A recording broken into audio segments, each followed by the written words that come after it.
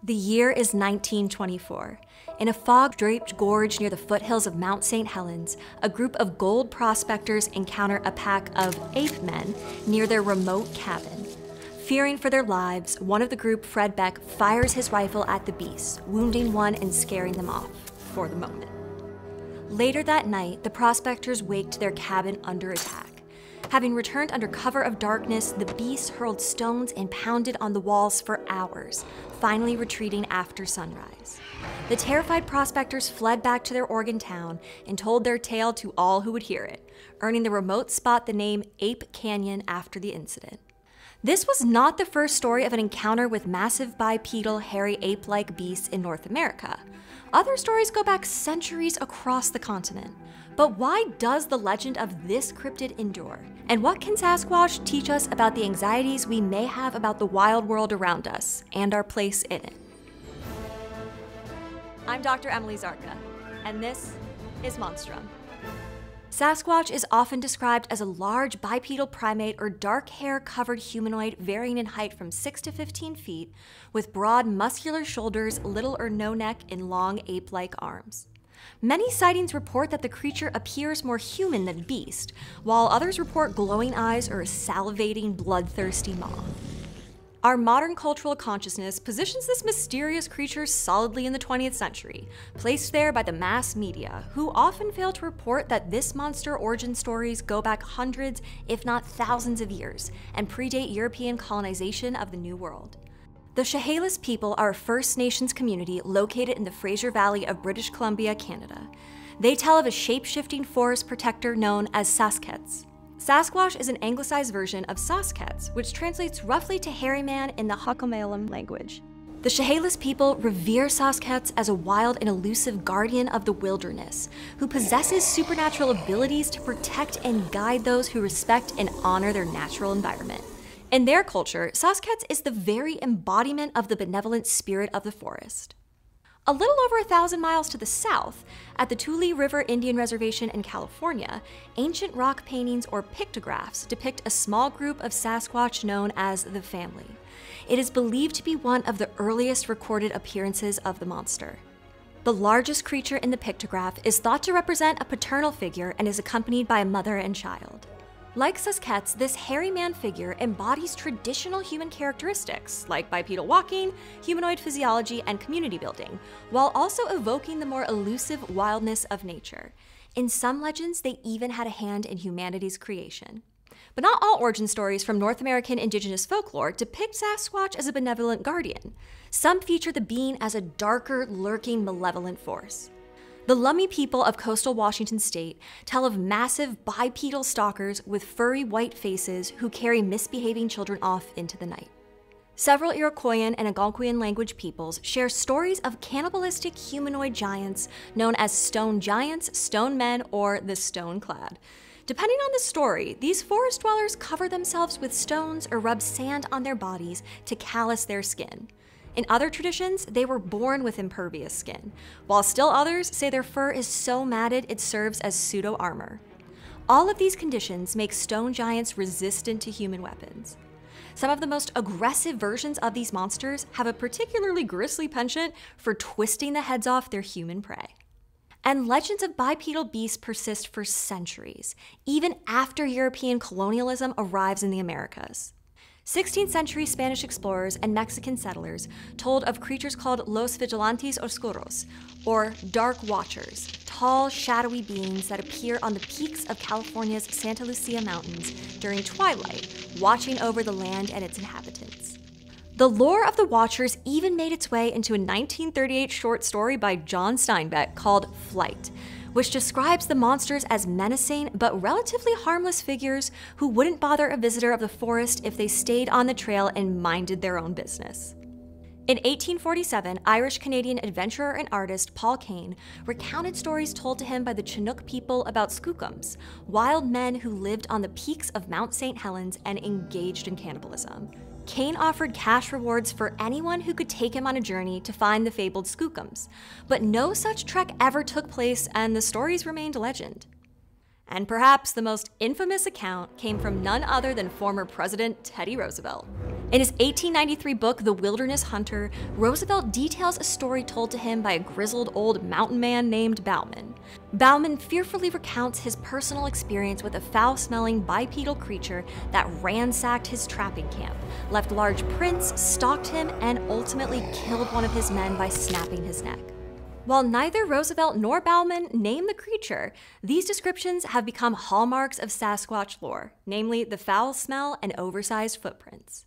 This brings us to the 20th century. After the Ape Canyon incident of 1924, the next couple of decades were relatively quiet in terms of Sasquatch lore. But advancements in media starting in the mid 20th century allowed for broader dissemination of mysterious monster sightings the 1948 introduction of the Polaroid instant camera, alongside the development of colored broadcast television and the growing presence of TV sets in the American household, made it easier to feed a growing appetite for tabloid tales. Like when in 1958, a Bluff Creek, California logger named Jerry Crew discovered a series of oversized human like footprints near a bulldozer on his job site. The 16 inches long footprints frightened and intrigued Crew and his fellow loggers. When he returned to town, he brought his story to Andrew Genzoli, a reporter for the Humboldt Times newspaper. Genzoli interviewed the loggers and published an article about the event, complete with a photo of Crew holding a cast of one of the footprints. It was in this article that our monster earned its new name, Bigfoot. When given an English language based name that was both simple and evocative, the monster became a national sensation. Under the new moniker, older alleged sightings, including the 1924 Ape Canyon incident, became widely known, and new encounters were reported via the emerging mass media network of American TV, newspapers, and radio. Less than 10 years later, in 1967, another new technology, home movie cameras, gave rise to the most famous piece of documented Bigfoot lore that exists to date, the one virtually everyone has seen or seen spoofed the Patterson Gimlin film. Shot on October 20, 1967, in Bluff Creek, California, by two friends and Bigfoot enthusiasts, the film clip captures what appears to be a large bipedal creature trudging along a wooded hillside in broad daylight for almost a minute. To this day, it remains the most iconic and controversial piece of evidence of the existence of Sasquatch. It doesn't take a film forensics expert to see that the Patterson Gimlin film could easily be replicated by any small group of people with a camera and a bit of costuming know how. While there have been confessions, and recently even AI evidence, that the footage does not depict a mysterious monster, for many it still stands as evidence of Bigfoot's existence. Some other familiar sightings have been much more reliably debunked. In 1982, a retired logger in his 80s, Rant Mullens, admitted to having tormented a small group of gold prospectors in Ape Canyon when he was a young man. He said that he and his uncle had thrown stones at their cabin from a rocky overlook in a playful attempt to scare them. Then later, having heard that the prospector's tale about fearsome ape men made national news, Mullens claims to have perpetrated several other Sasquatch hoaxes in the region in the years that followed.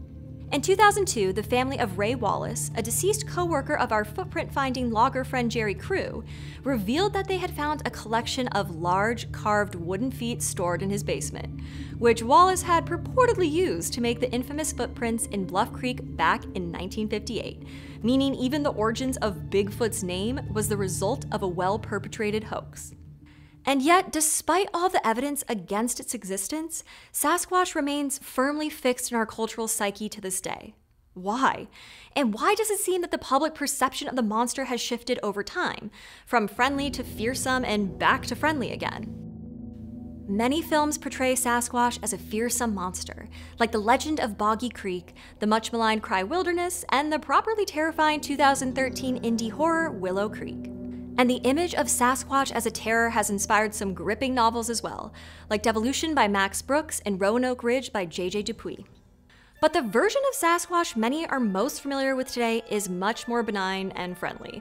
It's the one that we see as a mascot for sports teams, or as a spokesperson for snack foods, or beer, or a playful character appearing in video games. We might owe this return to a somewhat softer image of Sasquatch to the 1987 film Harry and the Hendersons, which imagined the monster as a benevolent and lovable creature of the woods whose existence is threatened by human encroachment. This iteration of Sasquatch coincides with growing public concerns about environmental issues in the 1980s. The film's protagonist is a reluctant hunter who falls in love with the titular monster after hitting him with the family station wagon on a weekend excursion. He and his family fight against malevolent outside forces hunting the beast and are the only ones who recognize Bigfoot as a precious and vulnerable entity. Much like our natural environment in wilderness spaces, who need saving? In a way, the lore of Sasquatch has come full circle, as our modern perceptions of the monster are an embodiment of respect for our mysterious natural surroundings, much like the earliest lore of Sasquatch from the indigenous cultures of North America. Debunked sightings, hoaxes, and an often cartoonish representation in pop culture, and yet the legend of Sasquatch still has fervent believers. Why is that? Ecologist Robert Pyle contends that there seems to be a general human need to create folklore about larger than life creatures, with names usually translating to something along the lines of wild man or hairy man. He writes that these mythical creatures represent a symbolic link to the untamed wilderness that surrounds us, a connection to our world that modern society has largely lost. It also wasn't so long ago that our ancestors were evolved to walk upright. Using folklore, particularly monsters, becomes a way to outsource or displace our primal fears of the unknown world, our unknown past, and our unknown future. We are scared of these creatures that are not human but act human, and look more like us and our ancestors than we may want to admit. Perhaps it is no coincidence that the ancient lore of Sasquatch evolved and endured right alongside the last century and a half of North American industrialization and modernization, from our fears of the unknown American frontier to our modern anxieties about humanity's effects on our fragile environment. Whether Sasquatch is a malevolent monster or a misunderstood beast just trying to protect his realm, one thing seems clear. The lore is likely to be around for a long time to come, reminding us to keep an eye on the big footprints that we leave behind as we move through this world. Before you go, I want to talk about death. No, not monstrous death, but death death. Or rather, I want to tell you about a new series on PBS Voices called Dead and Buried. It's a show that explores cultural perspectives and taboos surrounding death and invites you to reconsider how you think about the inevitable. We've got a link down below. Tell them Monstrum sent you. In the Halquelmaelum language. Halquelmaelum. Halquamalum. Should we do that again? I think we should just do that again for posterity. Halquamalum.